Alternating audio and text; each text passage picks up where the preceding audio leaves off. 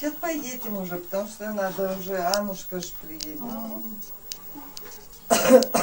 А Люба молчит, ничего А не что, говорит. будем стоять? Счастливого вам пути, чтобы все хорошо было. Да. Ну говори, Эдику, что ты хочешь сказать? Чтобы доехал хорошо. Хорошо доехал. И что приехал внучок и сразу сообщил. Не тяни завтра, послезавтра, не надо. Конечно. Сразу. Не, ну сразу. Я сразу приеду, включу Да. компьютер и скажу. Ему еще доехать, э, знаешь, как там... э, Сколько часов?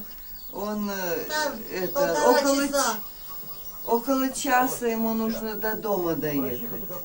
Да? Это поездом, да?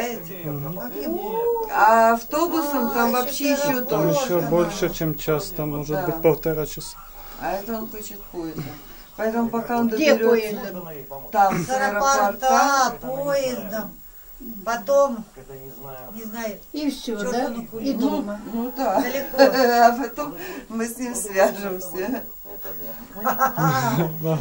Ой, И Ты увидимся, хочешь, чтобы он приехал? Лондон и увидимся в следующем году. Да. Вот э, бабушка тоже хочет, чтобы ты совсем приехал. Но может быть настанет ситуация, что я приеду. Да ты Ой, говоришь. ты знаешь, сколько... А приедешь, еще 10 повертишься, лет будет это нравится. да. погром и все такое. Говорит, Что по Он, он говорит, 4 года еще будут воевать и Крым А, завоевывать. здесь? Ну да. А потом еще восстанавливать лет В 15. Саратов побежим, да? Пешком. Жить в бедности будем. Ничего. Тут-то делать нечего.